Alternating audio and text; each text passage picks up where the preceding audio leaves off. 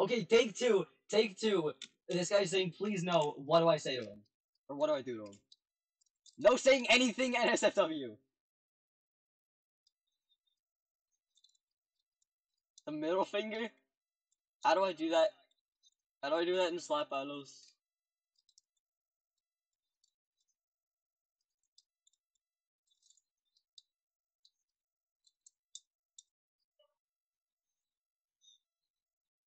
He's already, he already knows fear. He's, looking it right in the eyes right now.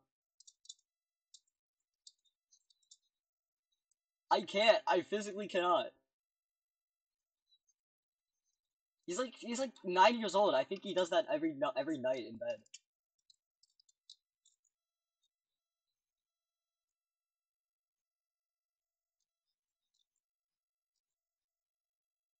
Don't no spoilers or I will literally break your neck, break your spine, and fucking kill you.